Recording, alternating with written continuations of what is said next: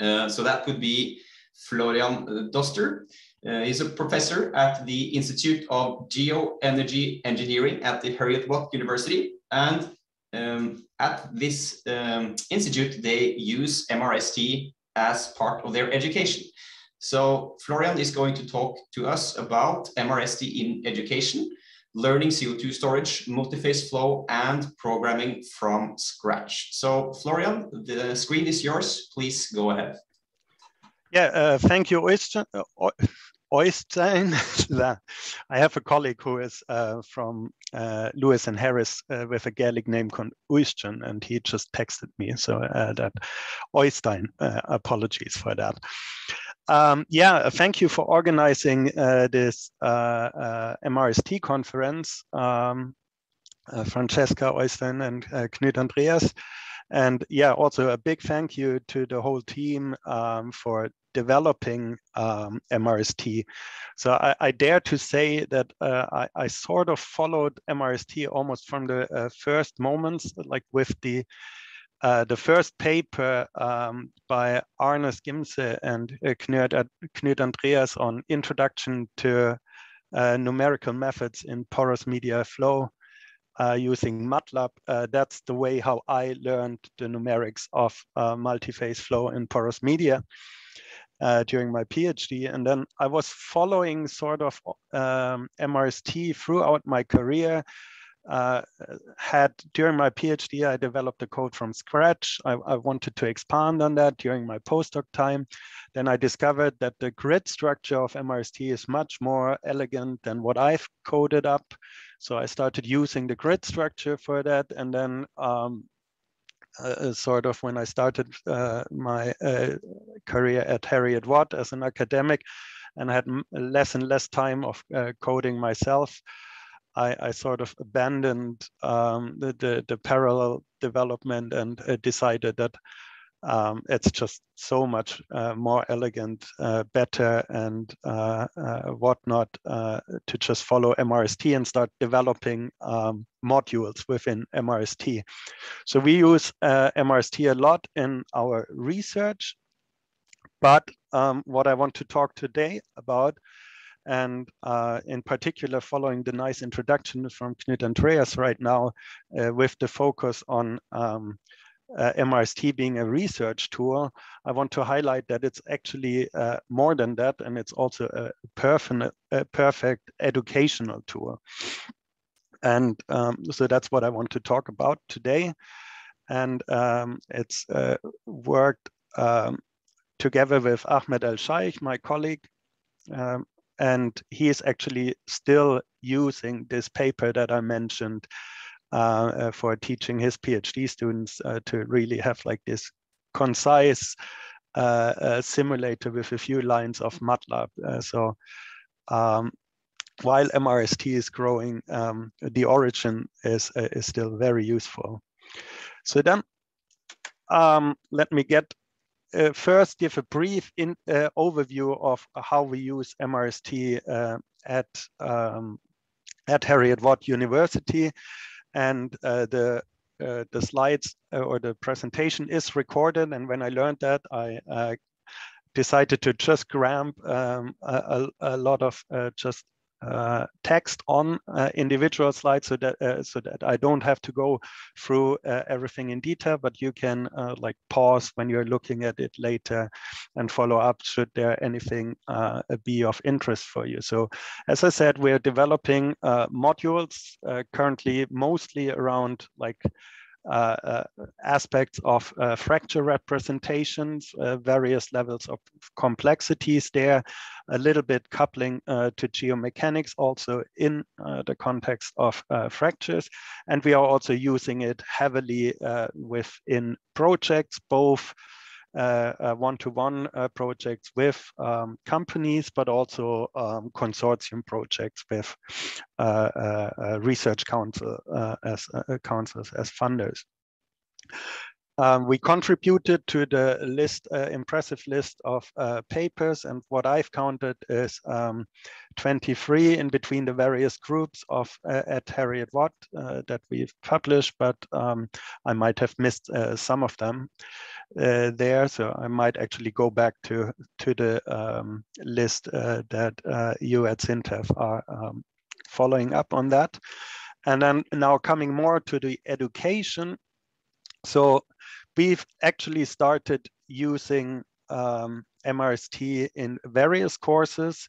I'd like to highlight um, um, uh, the one uh, Introduction to Reservoir Simulation at the National Institutes of Mathematics in uh, Ghana.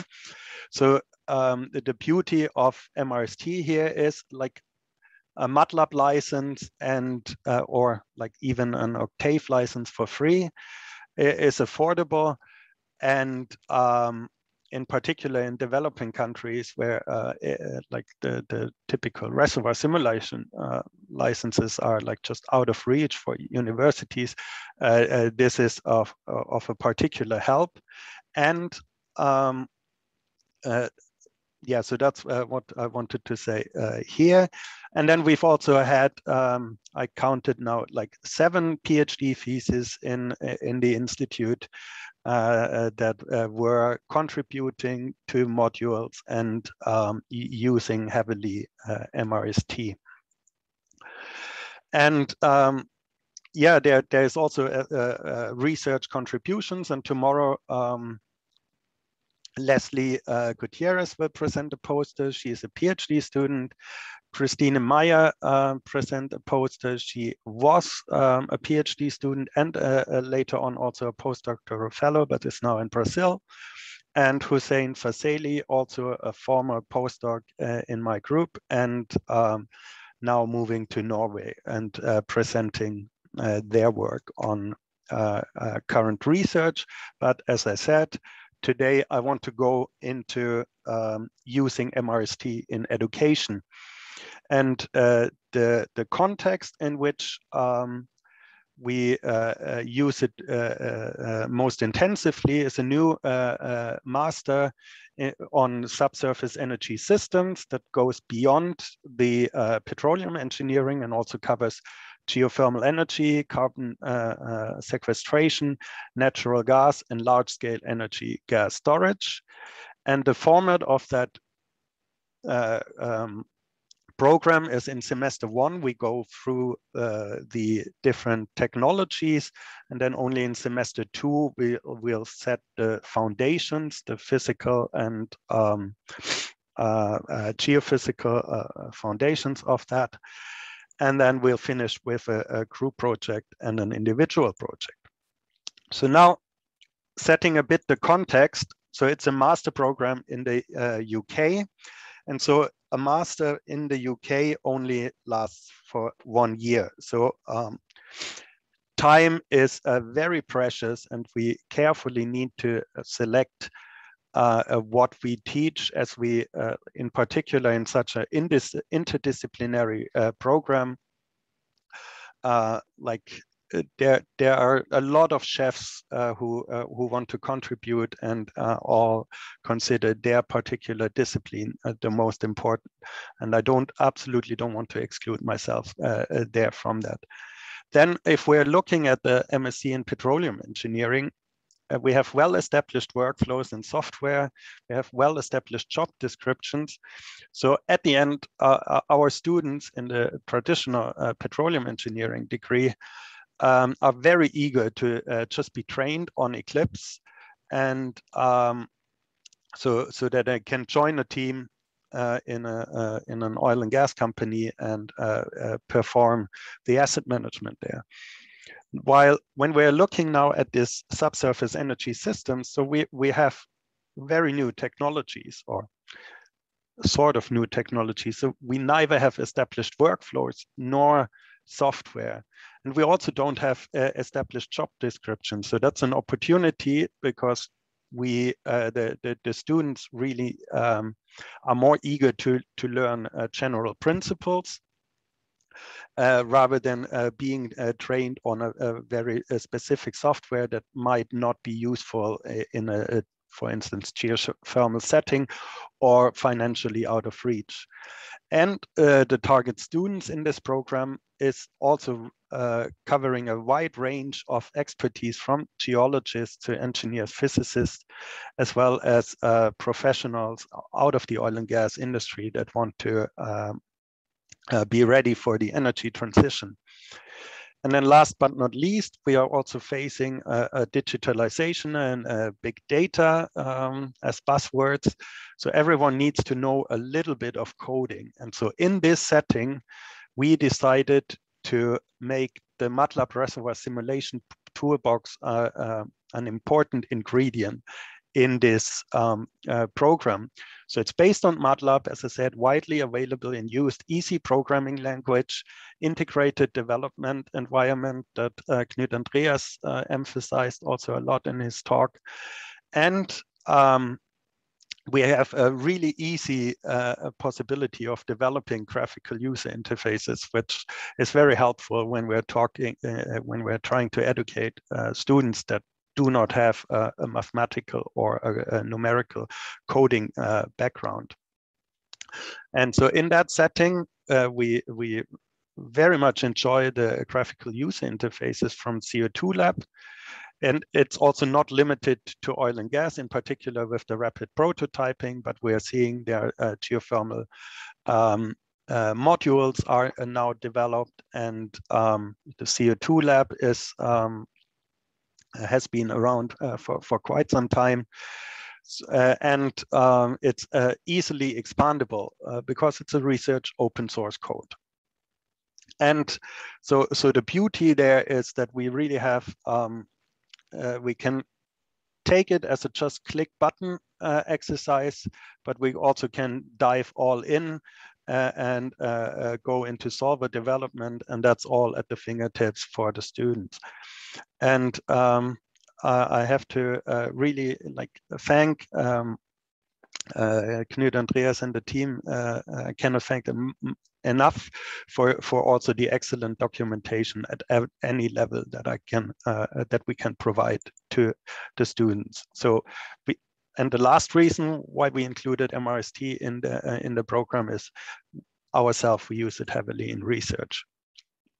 So in this program, when do students encounter MRST? So in the first week, actually two days from now, before they had any class, we'll give them a brief introduction to reservoir simulation so that they uh, get primed uh, uh, for the technologies that they'll face in um, in semester one.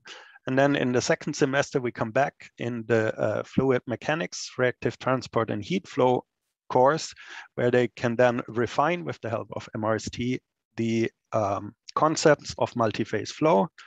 And then uh, in the summer, uh, they'll do an integrated group project where they develop essentially a CO2 storage site. And in the uh, remainder of the time today, I just want to briefly go through these uh, three items and how uh, the students uh, encounter MRST there. And uh, so first, in the first week, what do the students need to get going? Well, first, obviously, they need a computer. Luckily, most of uh, them have one. And if not, we have computer labs.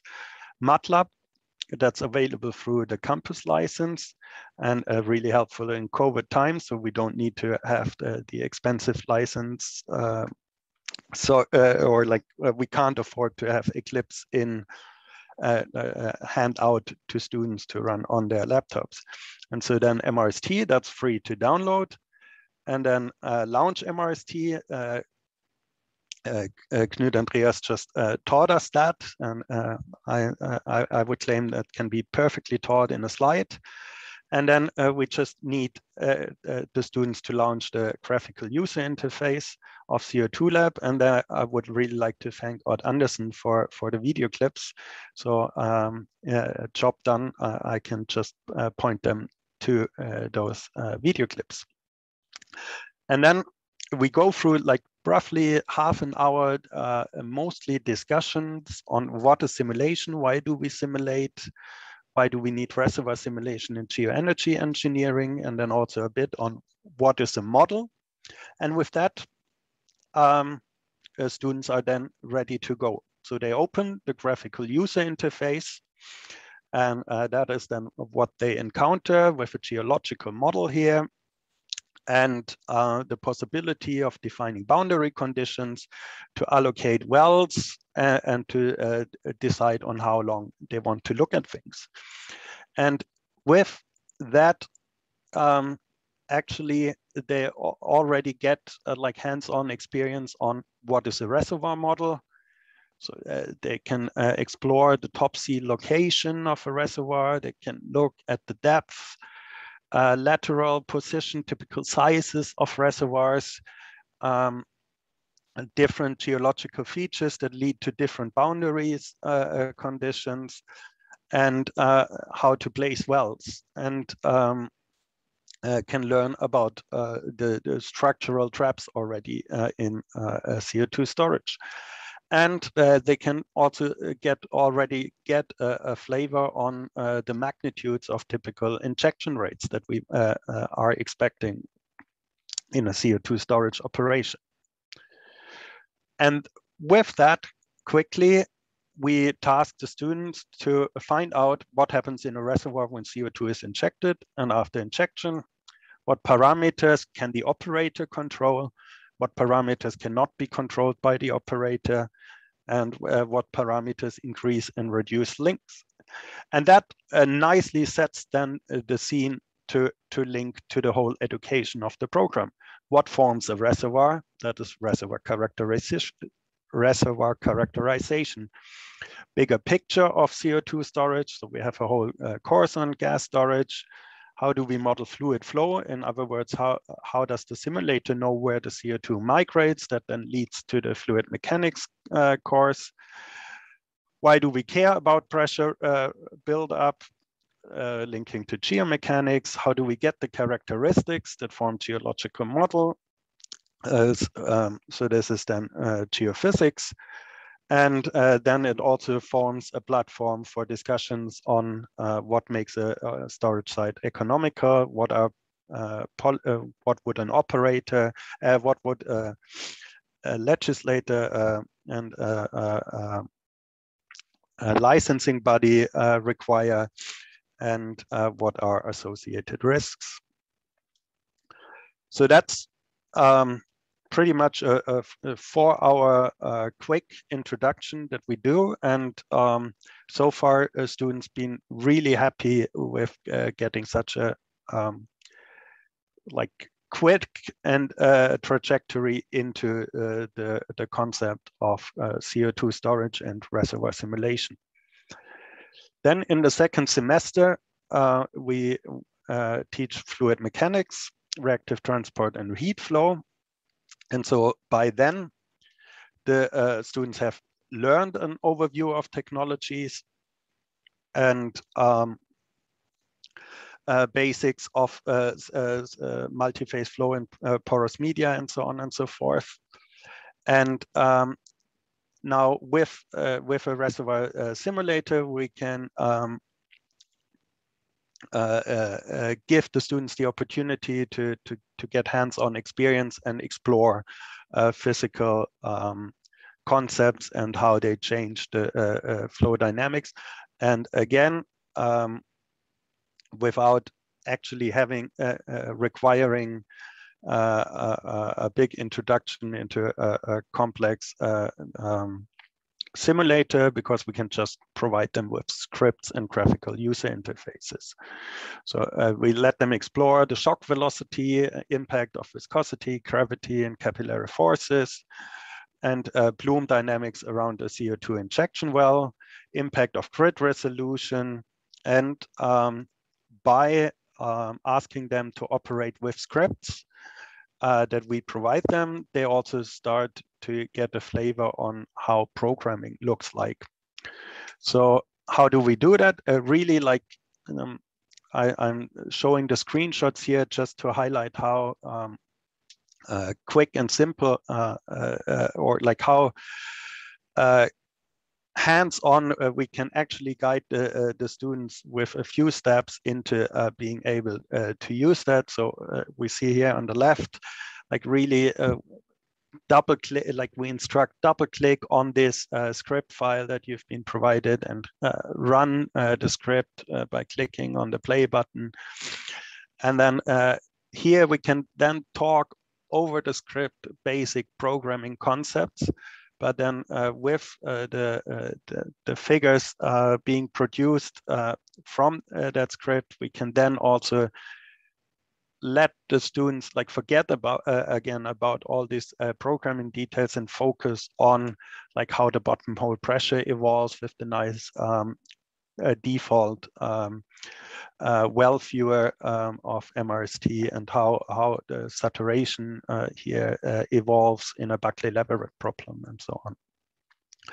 And um, yeah, then uh, here is just two snapshots from uh, student reports, how they um, investigate then uh, the plume dynamics around in a Chector well, for instance. And then so last, I see I have four minutes left. Um, quickly going through, uh, the group project, which is uh, sort of the core of, uh, of the program, where we bring all the elements together. And the overall aim here is to evaluate in a team setting the storage potential uh, of uh, one megaton of CO2 per year for 30 years in a specific storage site. And um, uh, they uh, get, uh, so the objective is that they estimate the CO2 storage capacity based on provided data um, with a limited number of CO2 injection plans, assess the risk associated with CO2 injection given the uncertainties in the data, uh, design a site monitoring plan, including corrective measures, and incorporate environmental health and safety consideration. And so the data set that they get is they get the top structure map, wireline logs, core images, and seismic uh, cross-section of uh, um, uh, uh potential CO2 storage site in Norway. And uh, some of you might immediately recognize that. And I have to admit the students were also quite quick in finding the originals. But um, uh, uh, the original reports on that, but uh, that didn't hamper the, the student experience. And so then digitalization and big data. Um, so this is the, the um, small like uh, uh, inconvenience, I'd say, so that we are starting here to um, operate not based uh, exclusively based in MATLAB, but we are uh, matching it with Python for various reasons. Uh, I have that lower on the slide. So um, all data handling could be obviously carried out in MATLAB, but um, Python today is, uh, is a, bit more popular, I dare to say. Uh, uh, MATLAB and Python are similar, and um, also uh, uh, the uh, Ahmed El Sheikh, who is um, leading this course, is heavily using Python rather than MATLAB. And I think in the geoenergy and geoscience um, webinar series, uh, when Knut Andreas presented, he also admitted that maybe if uh, you would develop today from scratch, um, you might choose Python instead. So geological models are then built within uh, based on these uh, uh, on the seismic horizons, well information, and so on, and then put into a 3D Eclipse corner point grid that can then be uh, read uh, by uh, CO2 lab, and therefore we slightly modified the graphical user interface so that they are then able uh, to load the data uh, that they've generated and are also um, having uh, more physical parameters uh, to modify as an uncertainty.